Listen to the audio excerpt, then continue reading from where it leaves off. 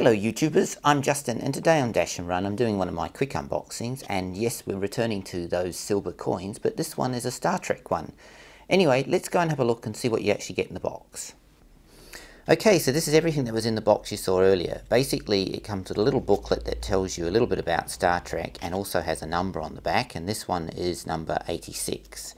And then next we have the actual um, Star Trek coin set. Now there was a coin set of the original Star Trek series with Kirk and the original Enterprise and this is a new one. This one is Picard and the new Enterprise D. Um, so basically you have a switch on the bottom which you switch on and then you have this lever here and when you open this lever the light comes on and you can actually see the coin. Now it's got a little um, plastic funnel thing here which we'll take out and basically that just illuminates the coin on the top and you've got another button here which allows you to open and have a look at the two coins and I suppose it's meant to simulate a transporter which is quite nice. So let's have a look at the coins a bit closer.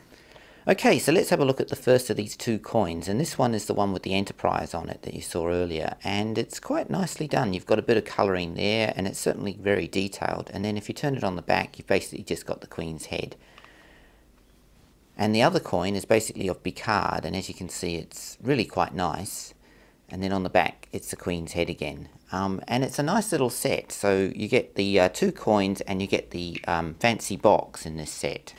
Well, there you go. There's a bit of a quick look at the two coin silver set of Star Trek Next Generation, and it's in a really nice um, display chamber case, which simulates the transporter, which I really like.